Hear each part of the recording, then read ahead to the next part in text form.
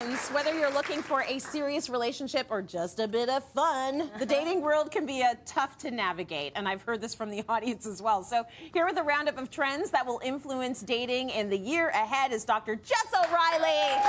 So good to have you, gorgeous. Happy to be here, talking So dating. happy to have you. Yeah. So how is the dating landscape changing? Well, number one, nobody's ever going to say it's good. Yeah. Right? If you talk to anyone who's dating, they're like, it is the worst. Right. But I think that with some of the trends that we're going to talk about today, Mm-hmm. what you'll see is that there are more options than ever. And so I think we need to take it on ourselves to eat from the dating buffet. Eat exactly Yeah. according to your taste. Try a little bit of everything. Yes. And then figure out what works for you without having to eat what everybody else is eating. Okay, well, as soon as you call it a buffet, I'm in. You're in. Yes, I am invested.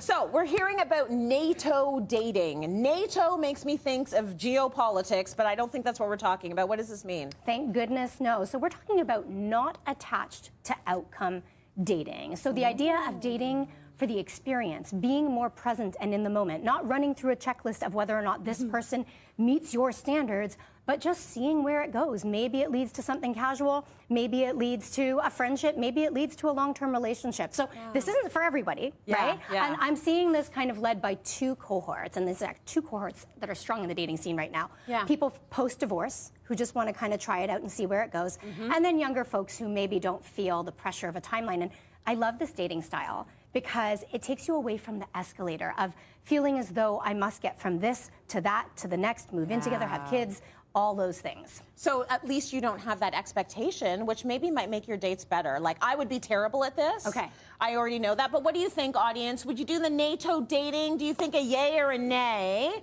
Yep, lots of thumbs up out Okay. there. Um, Oh. good. I, listen, I love it for you. Yeah, yeah. not who I am. Yeah. Okay, talk to us a little bit about throwback dating. throwback dating. So I think we're all seeing this. People who maybe have gotten back together with an old high school friend, maybe a fling, maybe the person who took you to prom who was just a friend at the time. Yeah. And so I love this. And I, I, I'm thinking of dozens of couples who have reconnected after 20, 30 years. And it's so cool because you often share an old network, you have history, you were already friends and you know a little bit about each other, you might know one another's families. And we have research showing in friendships that it can be very hard to make a new friend. It takes hundreds of hours to make a close friend. And so we often encourage people to try and reconnect with old friends. And this isn't about going back to exes, but Yeah. I think there's value in reconnecting with people from your past. I think Oh everybody gosh, knows somebody, Why right? not go back to exes? Is that wrong?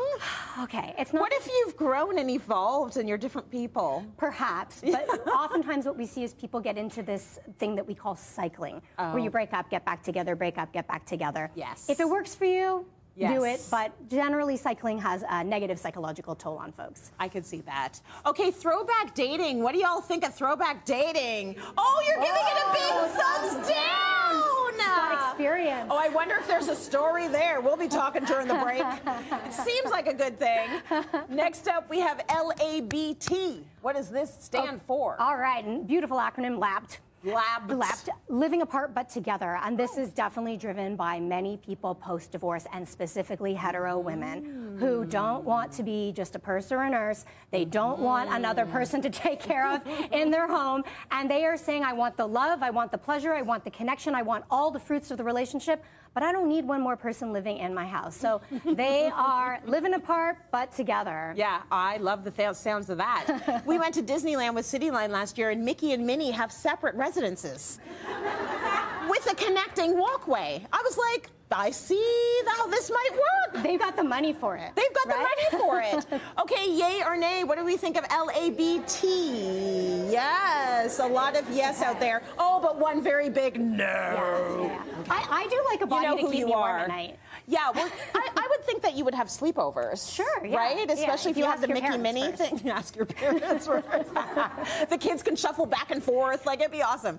Okay, more people uh, shifting away from monogamy. I hear a lot about this now. So, talk to us about this trend. Yeah, so when we talk about CNM or ENM, meaning Mm-hmm. consensual non-monogamy, non-monogamy or ethical non-monogamy, we're, we're not necessarily seeing a rise in it. I think what we're seeing is more openness to it, talking about it. Yeah. And so, whereas before maybe people were doing things that weren't so ethical, that weren't so consensual, mm. we're seeing now that a nationally representative survey or study in Canada found that 12% of Canadians consider some sort of an open relationship style, but ethical and consensual, their Yeah. ideal format. One fifth have tried it. So 20% of people. So this is more common than we realize.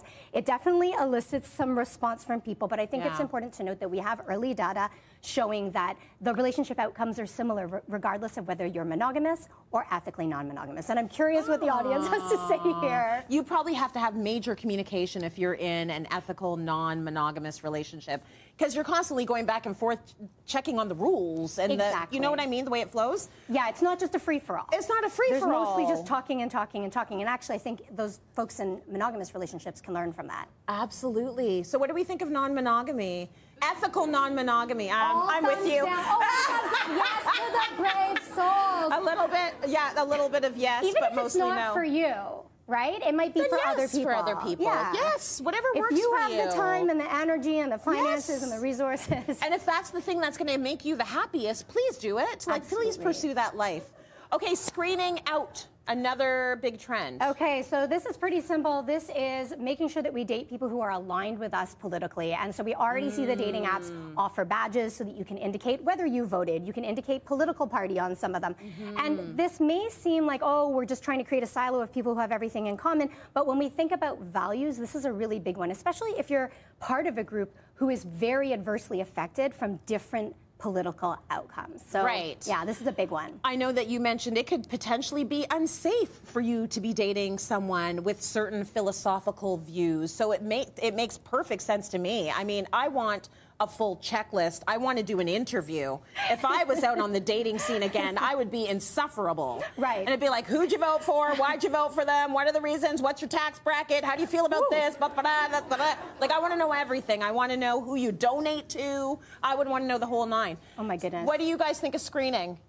For like politics and what have you? Yes, yeah. So you can It's kind of disagree on pineapple on pizza. You can disagree on you know different things, how much time you spend together. You can have different f- family values to some degree. Yes. But some of these issues are so big. tied to who we are on the inside. Absolutely. Politics is personal, Absolutely. right? Jess, thank you so much for that. Nice to see you. A pleasure. so exciting. It's always good to